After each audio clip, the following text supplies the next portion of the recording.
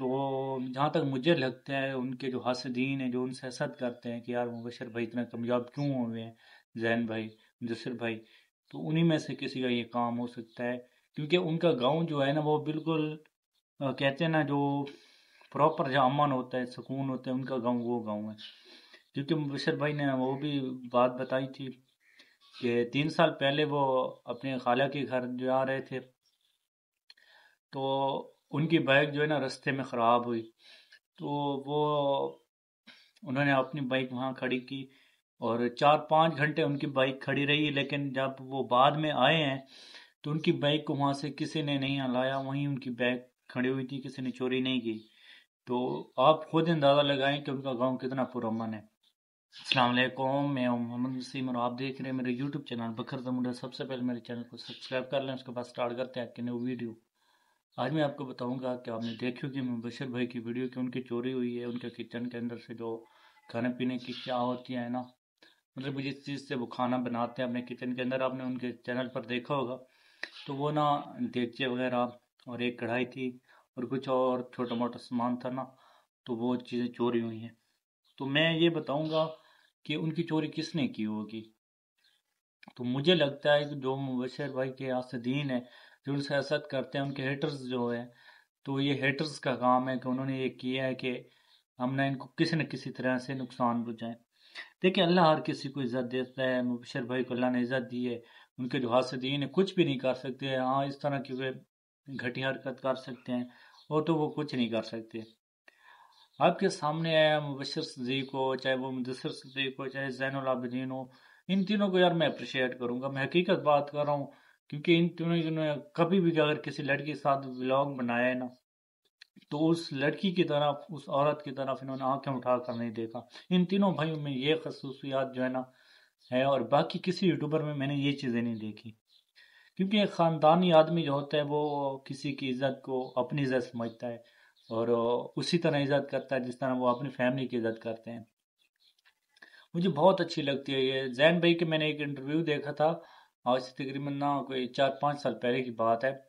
تو زین بھائی ایک جو ہے نا، لڑکی کو انٹرویو دے رہے ہوتے ہیں اور وہ لڑکی سوار کر رہی ہوتی ہے اور زین بھائی کی نگاہیں جو ہے نا، وہ بالکل ٹیبل پر ہوتی ہیں۔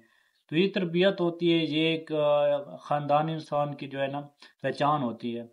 ہم نے دیکھا ہوگا کہ زین بھائی کے جو جہاں جب ان کی شادی ہوئی تو شادی پر بھی مطلب کہ انہوں نے اپنے فیمیل وغیرہ اور اس طرح کے کوئی بھی ان کے ایک کلپ کے اندر بھی ہم نے نہیں دیکھا کہ کوئی عورت آئی ہو۔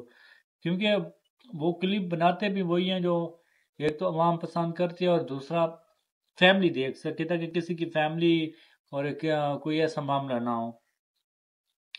اور مبشر بھائی سے ایک اور ریکویسٹ ہے اگر ہماری ویڈیو ان تک پہنچ جاتی ہے کہ مبشر بھائی آپ نا اپنے جو آپ کا کچن ہے جہاں آپ کا کچن ہے وہاں، اور جہاں آپ کا جو ہے نا آپ نے ڈیرا بنایا ہوا ہے، وہاں پر آپ سی سی ٹی وی کیمرے جو ہے نا وہ لگوائیں تاکہ مزید آپ کی جو ہے نا کوئی اس طرح کی نقصانات نہ کر سکے۔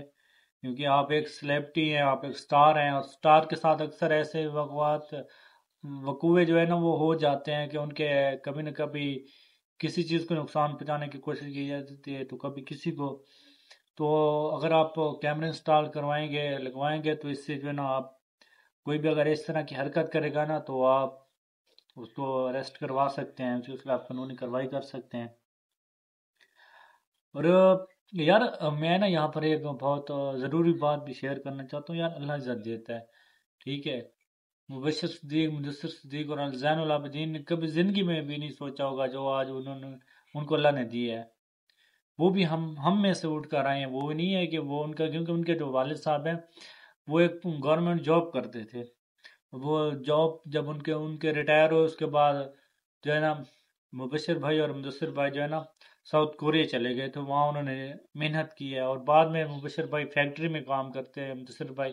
بعد میں یہ جو یوٹیوب پر آئے تھے۔ اگر آپ ان کے پیچھے ہسٹری دے گا تو انہوں نے بڑی سخت محنت کی ہوئی ہے اور جو انسان محنت کرتا ہے، وہ ایک نہ ایک دن ضرور کامیاب ہوتا ہے، چاہے وہ کسی بھی فیلڈ کے اندر ہو۔ اور حسد بوگز اور اس طرح کی اگر چیزیں رکھیں گے تو آئی تھنک آپ کامیاب نہیں ہو سکتے کہ آپ کے ذہن میں ہو کہ یار بھی یہ انسان جو ہے نا، یہ کامیاب نہیں ہو سکتا، وہ کامیاب نہیں ہو سکتا۔ وہ ایک نا مجھے بات یاد آ گئی، کیونکہ تھوڑی سی ویڈیو لمبی ہو رہی ہے، معذرت۔ مجھے ایک نا ایک بات یاد آ گئی نا، ایک میں نے کسی کا نا اسٹیٹس دیکھا تھا۔ اپنا کیا کہتے ہیں اس کو واٹس ایپ پر۔ اس اسٹیٹس کے اندر نا وہ ایک شاعر ہوتا ہے، وہ ایک بات کرتا ہے کہ انسان دوسروں کے بارے میں کہتا ہے، میں نا اس انسان کو اچھی طرح سے جانتا ہوں، اس انسان کو اچھی طرح سے جانتا ہوں۔ اور وہ انسان خود کو نہیں جانتا ہوتا۔ تو یہ بہت بڑی بات ہے، ہر کسی کو یہ سمجھ نہیں آنی۔ تو بس ملیں گے نیکسٹ ویڈیو میں، تب تک کے لیے۔ اللہ حافظ۔